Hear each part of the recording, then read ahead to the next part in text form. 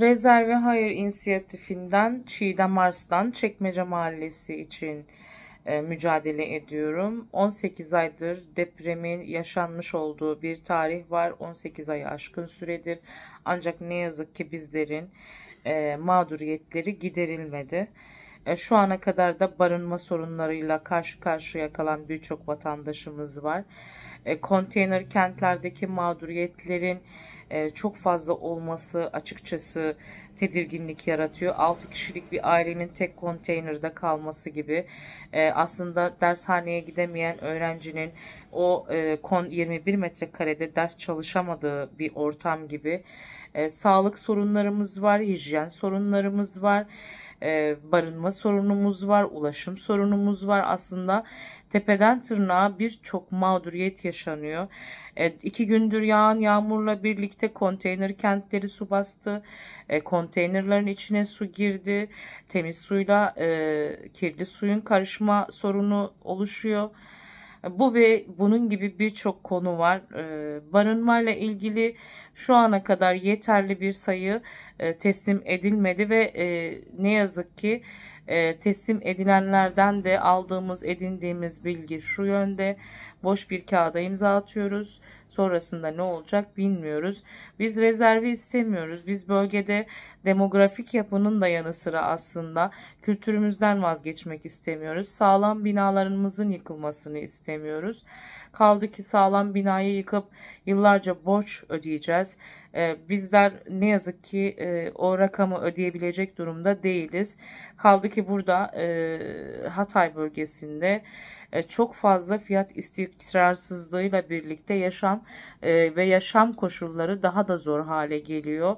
Ulaşımdan bahsetmek istiyorum. 8-10 yaşına kadar düşmüş bir e, yaş sınırı var ve bu çocuklar kendi aileleri servise ücret ödeyemediği için ne yazık ki otostoplarla gidiyorlar ve çok tehlikeli.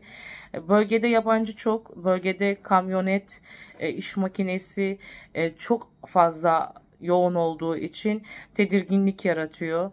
Bölgede aşırı toz var, e, aşırı asbest var. Biz bu bölgede yaşamaya devam ediyoruz. Bir an önce bunların da aslında sonuçlanması ve artık e, temiz bir hava almamız, temiz bir oksijen almamız gerekiyor. Ee, onun yanı sıra sağlıkta e, ne yazık ki e, bazı aksaklıklar var. Onlar da giderilmeli. 18 ayı aşkın süredir e, bizler yaşamaya çalışıyoruz alanda, e, bölgede, Hatay'da. Aslında her yerde rezerv alanına gaspari uygulamalara karşı çıkıyoruz. Zeytinliklerimiz katlediliyor. Topraklarımız bizden usulsüz bir şekilde alınıyor. Evlerimiz rezerv alanı ilan ediliyor. O tarihi uzun çarşımız yıkıma e, başlandı birkaç gündür. E, onun e, söylemlerini duyuyoruz. Bölgede neler oluyor? Ne yapılmak isteniliyor? E, gerçekten anlamış değiliz. Bizlere ait olan tapularda yasal olmayan işlemler yapılıyor.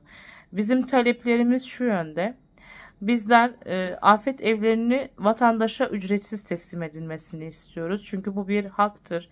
E, hiç kimse depremin e, olacağını ve binasının yıkılacağını bilemezdi. Sonuçta afet yasalarında da bu mevcuttu.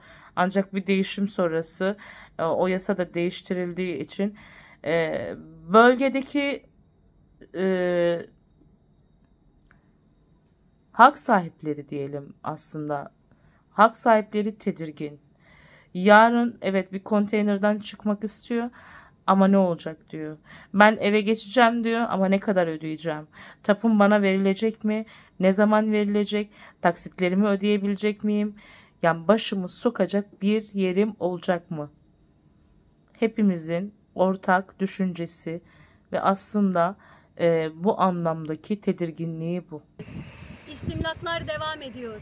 Kamulaştırmalar devam ediyor ve bizler hala barınma sorununu çözmüş değiliz. Devlet bize barınacak bir yer henüz göstermedi. Güvenebileceğimiz, kendimizi güvende hissedeceğimiz bir yer yok. Su sorunu yaşıyoruz, yol sorunu yaşıyoruz, elektrik sorunu yaşıyoruz. Bütün tarım arazilerimiz, bütün zeytinliklerimiz istimlak edildi ve kalanlar hala katledilmeye devam ediyor. Peki ne uğruna? Rant uğruna, işbirlikçilerin, para babalarının hesabı uğruna çalışılıyor burada. Bizim 100 yıllık zeytin ağaçlarımız katledildi. Bizler bunun mücadelesini hala veriyoruz ama bir sonuç elde etmiş değiliz. Davamız sürüyor. Hukuki yollarda başvurduk ama bizler hala mağduruz. Bizler hala konteynerlarda, hala çadırlardayız. Bu barınma sorunu ne zaman çözülecek? Su sorunu ne zaman çözülecek? Hatay normalleşmedi. Antakya normalleşmedi. Hala dışarıdayız. Sesimizi duyan yok mu?